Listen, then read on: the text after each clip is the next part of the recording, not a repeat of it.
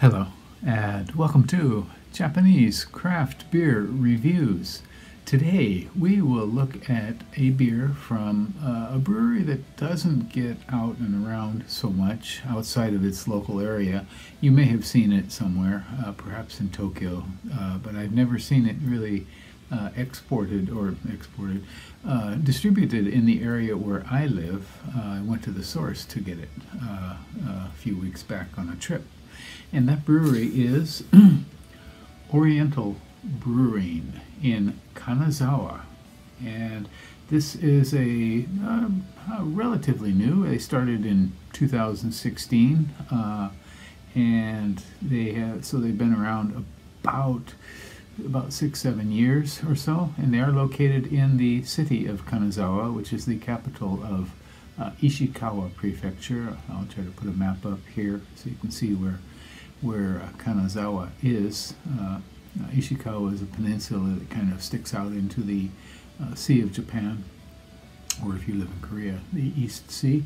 Um, and uh, not to be confused with uh, Oriental Brewery, which is a Korean concern, a rather large brewery, which has been bought up by AB InBev.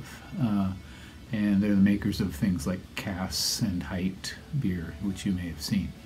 Um, Oriental Brewing uh, has listed or has 18 beers listed on Rate Beer, and on Untappd a total of 77 different beers. Now, Untappd is unmoderated, and I suspect that quite a few of those 77 are probably duplicates uh, of you know so somebody entered a beer and somebody entered the same beer as a you know slightly different name perhaps. Uh, so established in 2016, and they have uh, pubs in Kanazawa and uh, three three different pubs, uh, and their brewery is located in the uh, Higashiyama district, uh, close to what's called the Chayamachi, Higashi Chayamachi Tea District, and also in Korinbo, and one in Kanazawa Station, a pub there. And in fact, I visited that pub uh, a few years ago when I went to Kanazawa. Um, so they're they're you know I think they're expanding somewhat. Uh, I think they have a brewery planned or perhaps already built in the uh, Yuwaku Onsen area. Uh, so I did go to their pub in Kanazawa Station uh, in 2019, and I uh, went back again uh, about two three weeks ago to Kanazawa on a short trip. It's a very nice city, uh, very pleasant. Uh, uh, some people call it a, a little Kyoto. There are other places in Japan that also say that they are little Kyoto, but in this case it might be, you know, might be apt. A very nice castle, castle, a beautiful park, one of the three top gardens in Japan, and also a wonderful museum, uh, 21st Century Museum of Art, and uh, in the town. Uh, great seafood. Uh, it's really it's it's a pleasant place to get away, you know, for a few days. So, um, okay, so the beer. Uh, that's enough about Kanazawa. I'm sorry, Oriental Brewing, and I'll put some links to them on the description. Let's get to the beer. And the beer we have to look at today is from Oriental Brewing. It is called Oriental Brewing Noto Shio Saison. Shio means salt, and Saison is the style. And and so uh, basically the ingredients here are malt and hops and salt. The malt is specified as German. So uh, this is uh, Saison style, and I think it's the first one they have made, as far as I can tell. Um, it's 5%, and I do not know the bittering units. They don't specify that. And on Rate Beer, this one has only one rating. That is at 3.3, hmm, sort of so-so. Uh, Untappd 124 ratings, 3.42 out of 5, so a little bit better. Uh, they do say that the salt is Noto sea salt, and Noto is the name of the peninsula, uh, the area uh, around there, around Kanazawa. Uh, the peninsula that sticks out into the ocean is called the Noto Peninsula, Noto Hanto.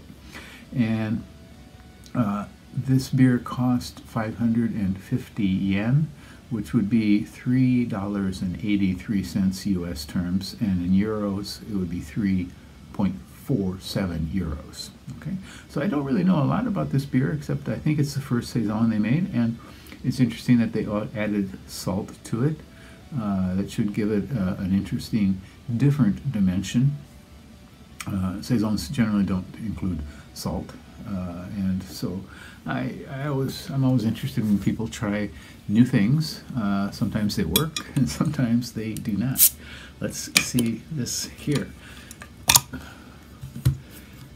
Saisons are a wonderful style, generally light, refreshing beers.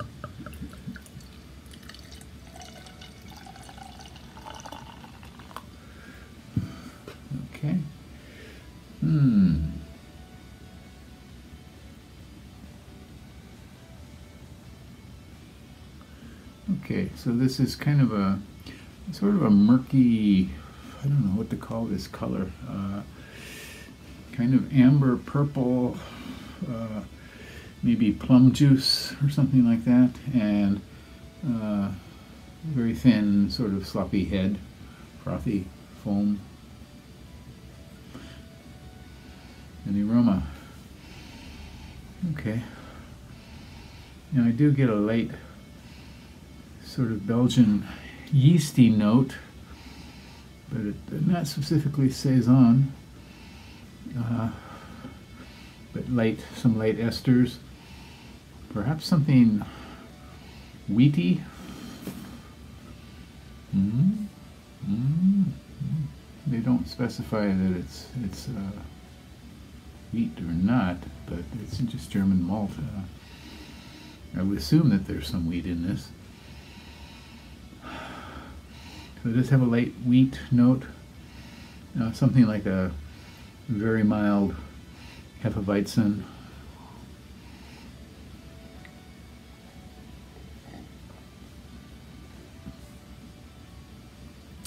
Okay, okay. Uh, again, thin maltiness, definitely some some wheaty aspect to it. Um, the saison uh, saison yeast is is uh, more Belgiany again than, than Saison. Kind of generic, sort of Belgiany sort of note. Uh, uh, Belgian yeasts often tend to give a lot of nice fruity esters, and there are some here.